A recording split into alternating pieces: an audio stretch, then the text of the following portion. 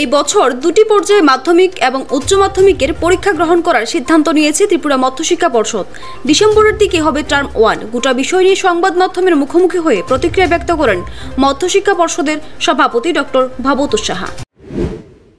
Corona পরিস্থিতির জন্য last ইয়ারে আমাদের হাজার হাজার ছাত্র মানে পরীক্ষা ছাড়া পাস সার্টিফিকেট দিতে হয়েছে মার্কশিট দিতে হয়েছে।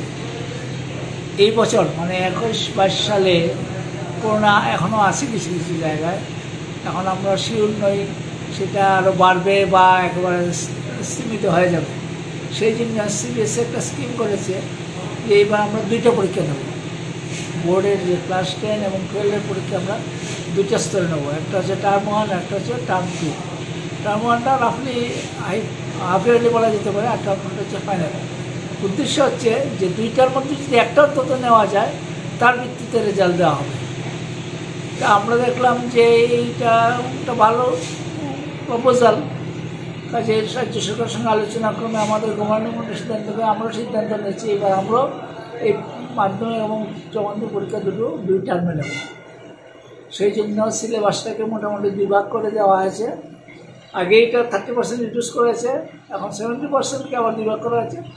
রাফলি ফিফটি পার্সেন্ট এ টার্ম ওয়ানে থাকবে। বাকিটা টার্ম টুতে থাকবে।